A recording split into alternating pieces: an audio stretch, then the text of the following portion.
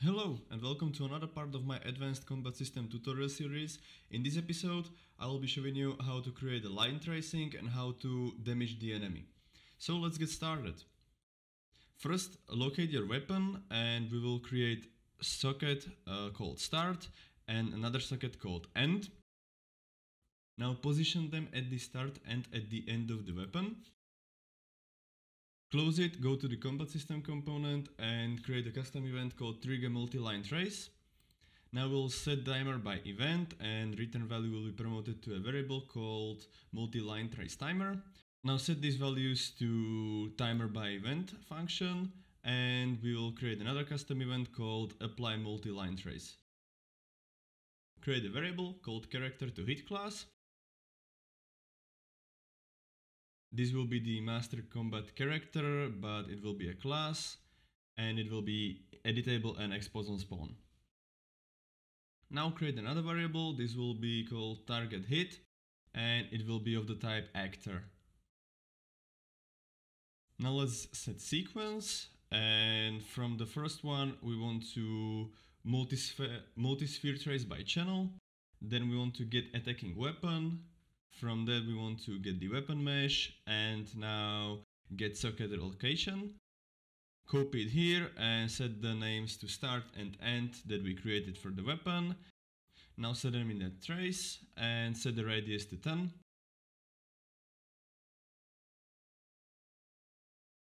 Now the actors to ignore, we want to make array. Uh, let's add two pins here. First we want to get owner and then we want to get the left hand and right hand weapon.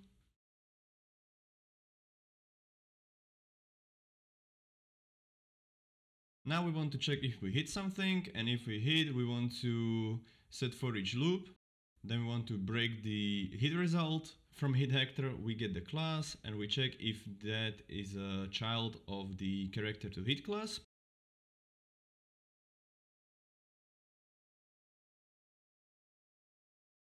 Then get the target hit array and check if it contains already the hit actor. Afterwards, get target hit again and let's add to it if it doesn't contain the actor. Now let's uh, also pin this here. Create a custom event called stop multi-line trace.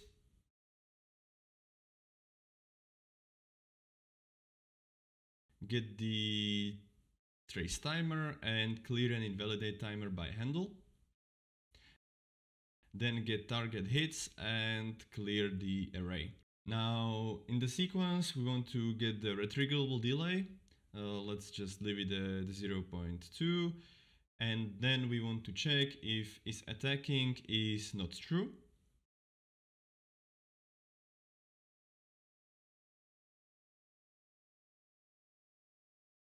And if it is not true, we will stop multi-line trace. Now this last thing is just for the purposes if something goes wrong, uh, you will mainly stop multi-line trace by yourself in the functions but if something happens then this will stop it 100% so you don't have to worry about it. Now go to your animations and we want to create two anim notifies. Uh, one will be when the attack is starting.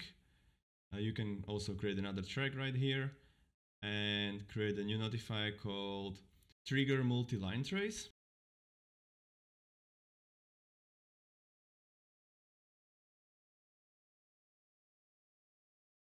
And then at the end of the attack, we want to create another notify called stop multi-line trace and you will this for all of the attacks.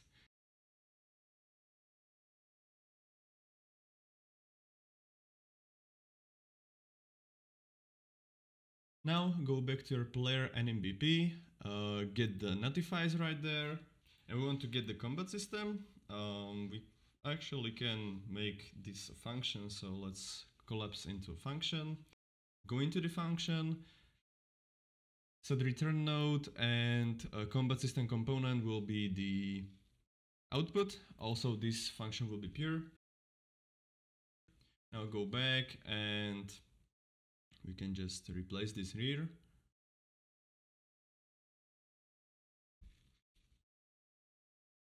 Now from the combat system component, we want to get trigger multi-line trace and stop multi-line trace. Set them to the notifies. And now when we play and equip weapon, you can see the line trace is working, but we don't have anything to hit. So we need to create enemy character for this. So create a child of master combat character. This will be called master enemy. I'm gonna create a folder for him, open it up, and let's set the mesh right here, set the rotation also. And when it's done, uh, go to the capsule component and set the collision presets to custom. We want, uh, we want to set visibility to block and camera to ignore.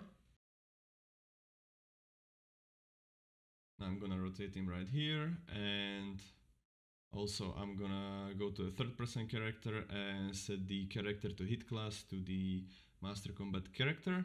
You can set it to whatever you want. And lastly, after the trace, I just want to see if we hit, so I'm gonna print string right here. Now as you can see, we can hit the target, but we don't deal any damage. So for this, we want to create an interface called damage interface. It will have function called deal damage with one input of the type integer called damage.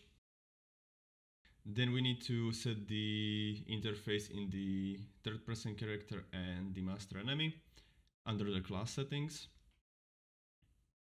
After we've done that, we can set the master enemy to have 100 health and then we want to get the event deal damage. That's, uh, that's from the interface. Afterwards, get combat system component, get current health, and we want to sub subtract the damage. Then we need to set current health. Afterwards, we want to check if the health is less or equal to zero. And if it is, we want to destroy the actor. Essentially, this is like a death. Afterwards, I want to print string that will say how much HP he's got left. Now we need to go to the combat system component, create a function called deal damage to target. Then cast to third person character and also create the input of the type actor. You can call him target. Then if the cast is failed, we want to cast to the master enemy. And then deal damage. The damage will be from the attacking weapon. So get the attacking weapon, get its weapon data.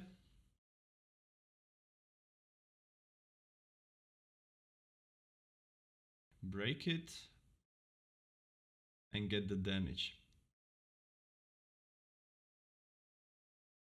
Now we can just return.